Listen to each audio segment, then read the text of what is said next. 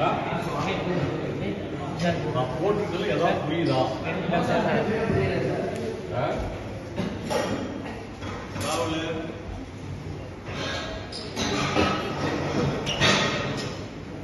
புரியுது.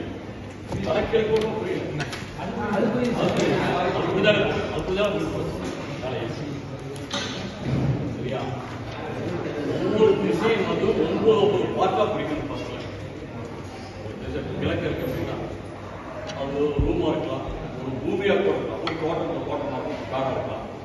இது ஒரு இடம். ஒரு அஞ்சரை சென்ட் நம்முடைய இடம் அப்படின்னா இது கிழக்கு பக்கம். இதையும் ஒன்பது பார்ட்டா பிரிக்கலாம். இதையும் ஒன்பது பார்ட்டா பிரிக்கலாம். இது யாருக்கும் ஒன்பது ஒன்பது பார்ட்டா பிரிக்கலாம்.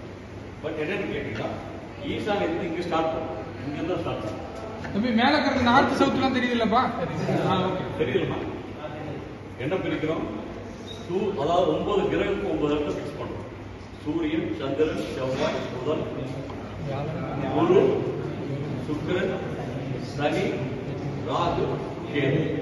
நவ கிரகம் இருக்கு ஒன்பது பேருக்கு ஒன்பது பாட்டம். அதான் ஒன்பது நைன் அப்படின்னு ஒண்ணுமே கிடையாது. நைன் கிரகத்துக்கு ஒன்பது கிரகத்தை குடிக்கூடிய இடம் இந்த ஃபர்ஸ்ட் பார்த்தீங்கன்னா கிழக்கு பக்கம். இது இது வடக்கு இது கிழக்கு பக்கம். ஃபர்ஸ்ட் இந்த ரெண்டு ஒன்பதுல ரெண்டு பங்கு உச்சம்னு ち移した。